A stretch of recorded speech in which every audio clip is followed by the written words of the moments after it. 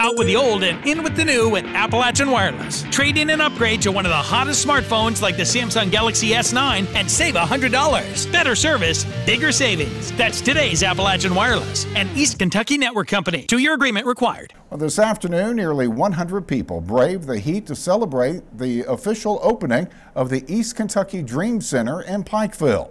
The Dream Center will officially open on Friday. Volunteers will be on hand to provide shoes and clothing if needed and information on other free services in the area as well as serving free hot meals.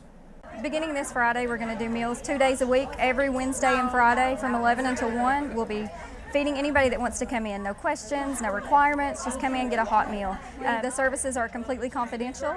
Um, you come in, you're not going to know who's there, they're not going to know you're there. Nobody wants it to be announced or to be put out there that they're having a hard time and that they're down on their luck. It's, it's an honor to be a part of this uh, and to begin from this point forward to really serve our community in a way that people can come together across the different things that typically divide one another. We can lay all that aside and come together and just love people, honor people, work together, and make a difference. The East Kentucky Dream Center is located next to the Landmark Inn in Pikeville and will be open from 11 a.m. until 1 p.m. Wednesdays and Fridays to serve free meals and by appointment for other services.